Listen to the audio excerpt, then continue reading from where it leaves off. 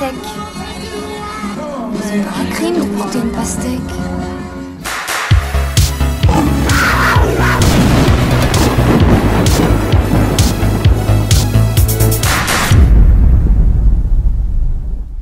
Salut chers playbackeux et playbackeuses, bienvenue à notre chaîne Playback 80, ici Pat. Et Audrey! Donc comme à l'habitude, on va parler années 80 euh, à notre façon, de façon décontracte et tout ça. Puis aujourd'hui, on a décidé de parler cinéma années 80 bien évidemment. Donc on a décidé de se faire chacun un top 10 de nos films préférés. Fait que c'est comme ça qu'on va adresser le sujet du cinéma des années 80. On va le faire chacun notre tour. On part de la dixième position à la première position. Juste avant d'arriver à la première position, on va avoir euh, notre petite liste des mentions honorables. Euh, puis je voulais dire aussi, il y a peut-être des, des films là-dedans qu'on a peut-être laissé de côté, qu'on a omis, que certaines personnes diraient sacrilège parce que, on a oublié tel film, on a oublié tel film. Je vais tout de suite dire, il y a un film qu'on n'a pas dans notre liste. Breakfast Club n'apparaît pas dans nos listes. On est désolé. Ça reste un des bons films des années 80 pour moi, ça reste un classique tout ça, mais on y va vraiment avec des coups de cœur. Il y a certains films aussi qui apparaissent qui sont comme des plaisirs coupables si on peut dire, euh, qui sont pas des chefs-d'œuvre, qui sont pas des grands films du tout, mais que nous on traite dessus puis qu'on réécoute puis on a encore du fun à regarder. Qu'est-ce que vous voulez, c'est comme ça, puis je suis sûr que c'est comme ça pour vous autres aussi. Fait que c'est ça, let's get to the point. On commence ça. Dans euh, mon top 10, à ma dixième position, j'ai choisi Un prince à New York. C'est vraiment un film que j'aime, que j'ai pas fait d'écouter à mes enfants, mais que je veux leur faire écouter parce que je suis convaincue qu'ils vont trouver ça drôle. C'est un film que ma fille a vu adorer aussi, puis euh, moi, ma fille, elle a 18 ans. Je pense que j'ai fait tout écouter les films des années 80 à ma fille. Mais euh, le, le Prince à New York aussi, tout le monde, tout le monde connaît les répliques de ce film-là. Puis la réplique que tout le monde connaît, c'est Bonjour mes voisins Eh oh, va chier Oui, merci Va chier aussi Et oui, cette fameuse réplique est la ligne. Puis ce qui est étonnant de ce film-là, puis tu sais moi, étant bilingue, euh, avoir grandi dans un milieu anglophone, mais ce film-là, je l'ai toujours préféré dans sa version traduite. Ben, la voix d'Eddie Dans- Murphy en français, là, est... Oh, mais c'est, je sais pas pourquoi il est plus drôle ce film-là en français qu'en anglais. Euh, les voix sont plus drôles, tout, tout est plus drôle. J'ai, j'ai vu les deux versions, puis je préfère vraiment la version traduite. J'étais en amour avec Sexy Chocolat, il me faisait vraiment beaucoup rire. Sexy chocolat Sexy chocolat C'est un film que j'ai vu et revu et revu, puis à chaque fois que je le vois, c'est un film que t'écoutes puis qui te fait juste décrocher, sentir bien. Tout est tout là. à fait. Un numéro 9, 9, 9, 9, c'est Qui veut la peau de Roger Rabbit? Je suis convaincue que tout le monde a vu ce film-là au moins une fois. Oui, c'est des petits bonhommes mêlés avec les humains, les humains qui peuvent rentrer dans le monde des cartoons, les cartoons qui peuvent rentrer dans le monde des humains. Euh, les petites blettes, là, qui étaient une référence euh, aux sept nains dans Blanche-Neige, mais c'était la version dark des sept nains. Ces bestioles-là, là, avec les mitraillettes qui ont les yeux tout croches, là, avec le méchant euh, qui veut détruire le monde des, des bonhommes. Et qui était le méchant dans ce film? Le monsieur qui joue dans Back to the Future. Oui. Ah, vous, c'est impressionnant. Ah, tellement. C'était pas prévu qu'il me demande ça. Euh, Christopher Lloyd, c'est un, c'est un génie de comédien, d'acteur, et en tout cas, il est, euh, il est à sa place dans ce film-là. Puis moi, je me rappelle une petite anecdote. Quand j'ai été voir ce film-là, j'avais vu au cinéma, le cinéma Joliette au centre-ville, le fameux cinéma de Joliette. Là. Et euh, petite anecdote, c'est que en plein milieu du film, le- la bobine a brûlé. Fait qu'il y a eu comme on a eu un petit intermède de à peu près 15 minutes le temps qu'il raboute le film, la pellicule. Carrément comme dans les films où tu vois la le film fondre, c'est arrivé, c'est arrivé à ce film-là. Euh, c'était surréaliste. Au début, on pensait que c'était même pas vrai, on pensait que c'était un, ça faisait partie du film, que c'était Ouais. un effet. Là. Mais euh, on a entendu 15 minutes puis c'est reparti. Film de Robert Zemeckis qui a réalisé aussi euh, Back to the Future. Puis euh, la, la femme de, du lapin, Jessica Rabbit, c'est un icône de beauté, malgré le fait que ce soit un cartoon. C'est basé, son, son physique est basé sur une actrice des années 30, que j'oublie le nom malheureusement, là, mais son physique Betty est vraiment... Page. Exactement. C'est ça. Jessica Rabbit, malgré le fait que ce soit un cartoon, est considérée comme une icône de beauté parce que, tu sais, on s'entend Ben, qu'elle est pulpeuse. Je et- l'utilise souvent, ce terme-là, là, elle est shapée comme Jessica Ben Rabbit. oui, ben oui, elle était parfaite. Le numéro 8, c'est un film que j'adore, que j'aime, qu'on revoit chaque année dans le temps des fêtes. Ça passe toujours à la télé. C'est Harry et les Anderson. Harry et les Anderson. Je pensais pas que t'allais dire ça. Je pensais que t'allais dire d'autres choses. C'est un, un film de Noël? Je m'attendais à un film de Noël. Ah, non, mais ça passe tout le temps dans le temps des fêtes, je sais pas pourquoi, là, mais ce film-là, quand j'étais petite, puis que je l'avais vu, je voulais avoir un ami euh, Bigfoot dans ma vie. Il est si attendrissant. Puis le, le, le- le gars qui fait euh, Harry Anderson, c'est... C'est lui qui l'incarne dans le Celui qui costume. l'incarne dans le costume, c'est le même que joué euh, le rôle dans le Prédateur qui fait la la, La bébite. créature. La bébite là, c'est un grand monsieur. euh. Harry Lenderson, je l'ai fait écouter à mes enfants, ils l'ont adoré. On est allé à un marché aux puces, puis soudainement, j'ai vu la, la, la magnifique poupée de Harry que tu devrais montrer. Ouais, je vais la montrer. Elle est pareille, elle est belle, elle, elle- Harry Landerson, là, c'est un film que t'écoutes et que tu fais comme Oh, c'est si bon, Harry. Ouais, bon, Il y a, rien, très bon. y a rien de grand, il y a rien de, d'extraordinaire comme film. C'est vraiment un film familial de. Parfait, ouais. Mais Mais c'est Rick Baker qui avait fait le personnage. Je vais en reparler un petit peu plus tard de Rick Baker, maître maquilleur et costumier extraordinaire. Euh, le personnage d'Harry, ce Bigfoot-là, là, pour moi, là, c'est l'incarnation même du Bigfoot. Ouais, Il ouais. est trop parfait. Ouais. Euh, le visage hyper expressif pour un masque. Il était trop parfait pour son temps, là, euh, pour un film de l'époque. Là, il est- les effets spéciaux du personnage, je parle, étaient euh, à couper le souffle. Mon numéro 7, Ferris Bueller. On voulait tout être malade une fois dans notre vie, faire comme lui, parce qu'il était super intelligent, là, on s'entend. Il avait monté un sacré beau setup, faire à croire à ses parents qu'il dormait. Tout le monde a vu le film, là, tout le monde connaît l'histoire, faire à croire à ses parents qu'il est malade, euh, euh, euh, il enregistre de la toux, il, il met un mannequin dans son lit, bref.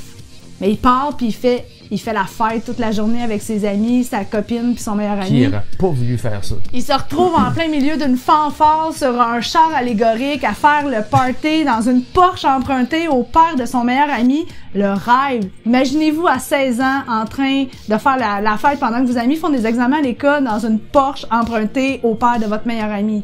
Le rêve.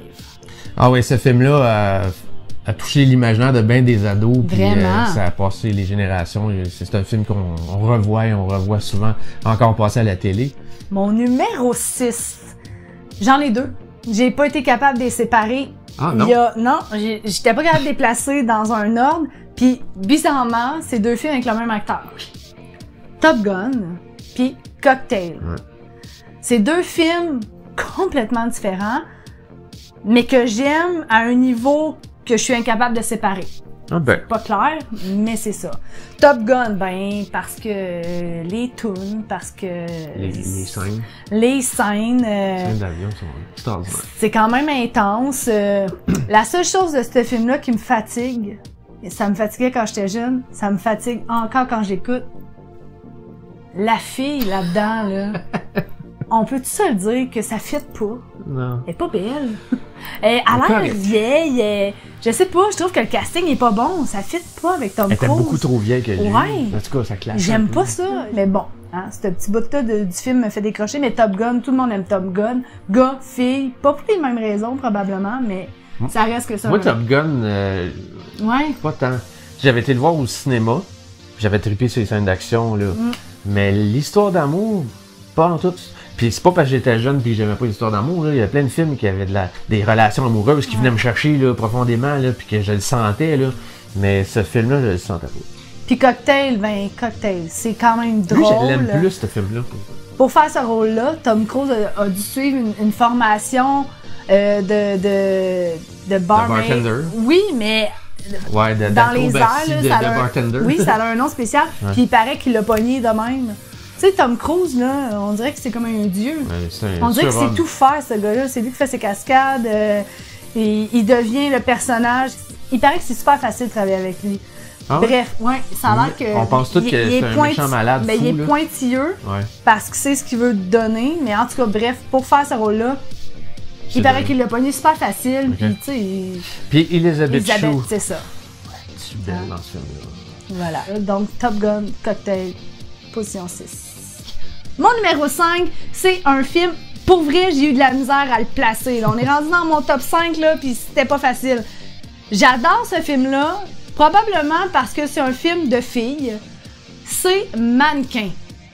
Mannequin, quand j'écoutais ça, je me disais, tu sais, là, des fois, là, vous avez sûrement toutes fait ça, vous couchez, là, puis vous, vous vous imaginez que tout prend vie. Ben, c'était ça, Mannequin. C'est un monde à part où un mannequin plastique devenait soudainement une super de belle femme. Il y avait une histoire d'amour. Ça, c'est un film que, comme un peu Harry Anderson, c'est pas un grand film, mais c'est un film de fille qui fait du bien, que t'écoutes, tu fais comme Ah, c'est tellement le fun, on aimerait ça, vivre ça, avoir un ami de plastique qui prend vie. tu trouves pas? Donc, on est rendu à mon numéro 4. Là, je vous le dis, là, mon top 5 a été difficile à faire. Mon numéro 4, c'est Mystic Pizza. Est-ce que vous connaissez ce merveilleux film Mystic Pizza que je jouais il n'y a pas si longtemps que ça à la télé? C'est un film avec Julia Roberts. Puis euh, c'est des jeunes adultes, là, je vous dirais, dans la 19 vingtaine, qui vivent chacun leur tour, leur aventure, des histoires d'amour euh, un peu rocambolesques. Puis, je sais pas pourquoi j'ai un attachement particulier à ce film-là.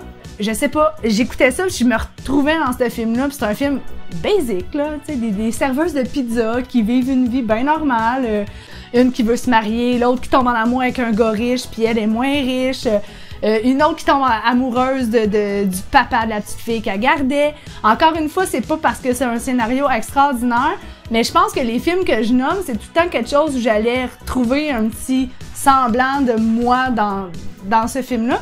Puis dans Mystic Pizza, euh, il y a Matt Damon qui fait aussi la- sa première apparition euh, dans un film. C'était son premier rôle. petit rôle. Il jouait le frère du chum de Julia Roberts, un, un petit Chris.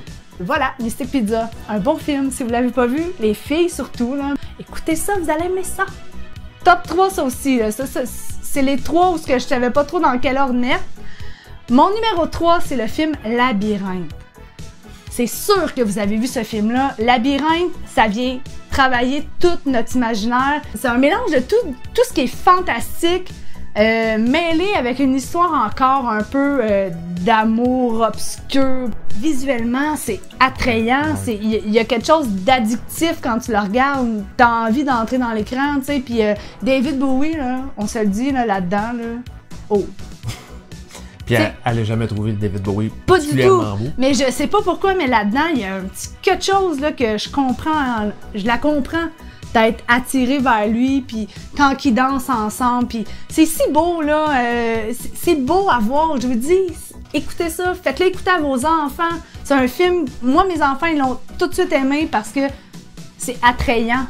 C'est hypnotisant. Je sais pas comment l'expliquer autrement. Mhm. C'est un film qui a tout le temps une petite vibe un peu euh, ténébreuse. euh, Ce qui, était, ce qui était le fun des films de ce genre-là à l'époque, les, les films fantastiques euh, dans d'autres univers comme ça, là, un peu comme L'Histoire sans fin ou euh, The Dark Crystal. Aussi un film avec euh, Tom Cruise, Legend, euh, qui est fantastique avec des licornes et tout ça, mais il y a un diable dans ce film-là qui est incroyable, là, qui genre, c'est l'incarnation même du diable, tellement qu'il est beau. Mais c'est ça, c'est qu'il y avait toujours un côté très dark dans les films fantastiques fantaisistes de l'époque avec des filles et des patentes de même. Mais ça restait. euh, c'était des univers très uniques puis qu'on voit plus aujourd'hui. Ouais, ouais. Euh, ils ont organisé un bal masqué euh, qui s'appelle euh, le labyrinthe. le la- le- je vais dire en français, là, mais c'est le labyrinthe masqué.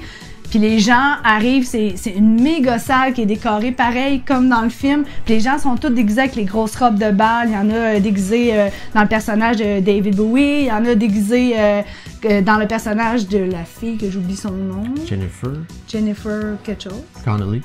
Connolly. Donc, euh, allez voir ça sur Google pour vrai. Taper euh, bal masqué, euh, film labyrinthe. Vous allez voir les images, c'est vraiment beau. Là, ça donne envie de. Ça fait rêver, c'est des belles grosses robes. Mon numéro 2. Ce film-là, je pourrais l'écouter, je vous jure, 250 000 fois par année. Je sais pas pourquoi. Je connais les répliques. il me fait rire aux larmes à chaque Moses de fois, comme si je l'avais jamais vu. C'est le sapin à des boules. Le sapin à des boules, je l'aime d'amour. Deuxième. Deuxième position. Ah oui, deuxième position. Je, je- je me suis dit, ah, je vais le mettre plus bas, c'est le sapin à des boules. ben non, Colin. Le sapin à des boules, je l'aime profondément. Je sais pas si c'est un film familial, si tout le monde a un attachement aussi. C'est quelqu'un qui l'aime pas ce film-là? Y a quelqu'un qui l'aime pas? Avouez que c'est vraiment drôle. C'est tellement niaiseux comme film. C'est un classique. c'est- On se sent bien quand on l'écoute. À toi, on, on peut pas. On, l'a tout vu un million de fois. Puis ça nous met on peut dans pas la... s'empêcher de la regarder à chaque année. Non, puis ça nous met dans la vibe de Noël. Tu sais, le sapin des boules, là, à chaque année, je le dis, j'ai hâte qu'il passe, faut que je l'écoute. On dirait que ça start mon temps des fêtes. C'est une tradition. C'est une tradition. Mm. C'est un film que j'affectionne particulièrement. C'est important, les traditions. Ouais.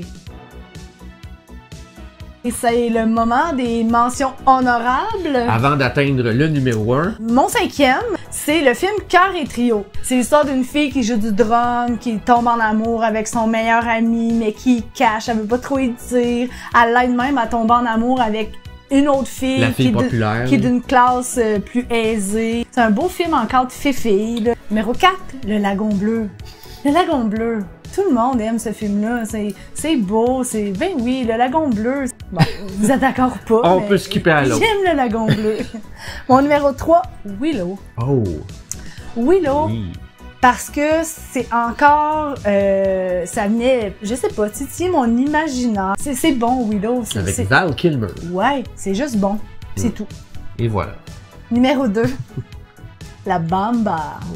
La la la la la la la Bamba. Ce film-là, quand il est sorti, j'avais eu la cassette en, en cadeau à un Noël. Ben, la trame sonore est La trame sonore. Puis ce film-là, pour moi, là, c'est un souvenir de famille. Ça a été un, un- un- un super le beau party. Puis je pense que c'est juste pour ça que c'est mon numéro 2. Parce que la trame sonore fait partie d'un souvenir super beau que j'ai dans ma tête avec ma famille sur les tunes de la Bamba. mon numéro 1, si je vous dis fuck you. Fuck you! Fuck you. Est-ce que vous savez de quoi je parle? Fuck you! Scarface. Ce film-là, Le Je- balafré. Je le connaissais pas. Pat me l'a fait écouter il y a quand même un, un moment. Je sais pas pourquoi j'ai accroché comme ça, là. J'adore ce film-là. Moi aussi. Michel Pfeiffer là-dedans est, est vache, Et bitch. mais bitch. Tu l'aimes de même, puis Puis ah, veux-tu Pacino de la aussi. coke? Il y en a, c'est comme... Wow! C'est écœurant comme film. C'est violent. Ah, c'est sanglant. extrêmement violent. Ouais, Mais j'adore ce film. Ça joue à la télé. Faut que j'écoute. ouais, moi aussi. c'est, c'est, c'est, ouais, wow, Scarface. Ouais. Mon numéro 1. Drumroll! Dirty Dancing. Danse lascive. Ça, là. Ça, là. Il y a un million d'affaires, je pourrais dire, ce film-là. Tu sais, j'ai dit que je pouvais écouter euh, Le sapin des boules 250 fois par année. Ben, Dirty Dancing, là, je l'ai tellement écouté de fois. Elle pourrait écouter euh, 800 fois par année. Ah, ça. c'est- Je connais les répliques par cœur. Je connais les moves de danse. je me prends pour bébé quand je l'écoute, là. Je l'aime, ce film-là. C'est un film où ce qui se passe tellement plein de choses. Déjà, à, la base, tu les, nous, les filles, là, quand il y a de la danse, quand il y a un beau gars, une belle fille, c'est attirant. Mais là, c'est toute l'histoire qui vient autour. C'est dans un camp d'été. Euh, Une fille riche qui s'en va passer du temps avec son père là-bas, puis sa famille. Elle rencontre le petit pauvre qui travaille là pour faire du cash, puis elle tombe en amour avec, puis il dégage tellement quelque chose, de Moses de Patrick Swayze là, là-dedans, là. Puis saviez-vous que c'était pas Patrick Swayze à la base qui devait faire lui. Le rôle, il était pas destiné. Il avait voulu que ce soit Val Kilmer qui fasse le rôle de Patrick Swayze. Ça clash dans ma tête. Quand ils ont fait le rôle à Patrick Swayze, il l'a pas voulu au début. Puis finalement, ben c'est vraiment, euh, à la base, vous savez, ou si vous le saviez pas, Patrick Swayze, c'est un excellent danseur. Sa femme, c'est une grande chorégraphe. Ah oui. Euh, elle a même contribué à faire les chorégraphies dans, dans le film. Puis, Patrick Swayze et euh, Bébé, dont j'oublie toujours le nom, parce que vous savez, je suis pas bonne dans les noms. C'était le feu et l'eau, là. C'était toujours de la chicane, ces deux-là. Il y avait aucune chimie. Il a fallu qu'ils travaillent fort, fort, fort pour que ça ait l'air de ce que ça ait l'air. Puis, on s'entend-tu que quand on les regarde, c'est comme...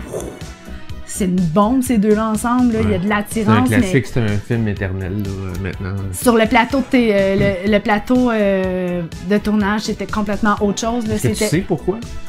Ben, euh, Patrick Swayze trouvait qu'elle, elle apprenait un petit peu trop son rôle à la légère. Lui, c'était un, c'était son premier rôle premier dans un film.